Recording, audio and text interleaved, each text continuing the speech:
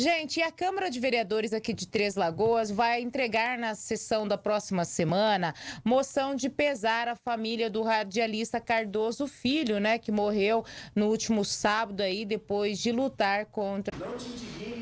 Na sessão desta terça-feira, o vereador Antônio Emke Júnior, o Tonhão, usou a tribuna da Câmara para falar da importância de Cardoso Filho para a comunicação e para a valorização da música sertaneja para nós, para vocês, né, todo do grupo RCN, o carinho que ele tinha, né, os últimos 30 anos dele enquanto profissional, ele estava lá no grupo, a gente teve a oportunidade dessa convivência, ele me conhece também desde criança.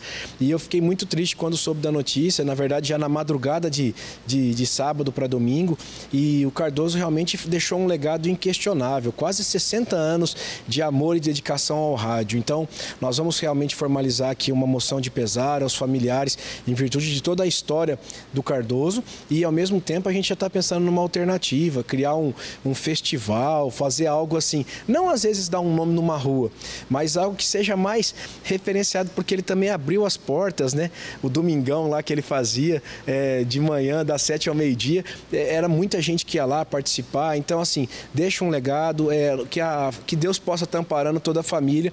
E obrigado, Cardoso Filho, né? Obrigado, Cardoso Filho, por tudo que ele fez, por tudo que ele representa para a comunicação Segundo o presidente da Câmara, a moção de pesar à família de Cardoso Filho será entregue na sessão da próxima terça-feira.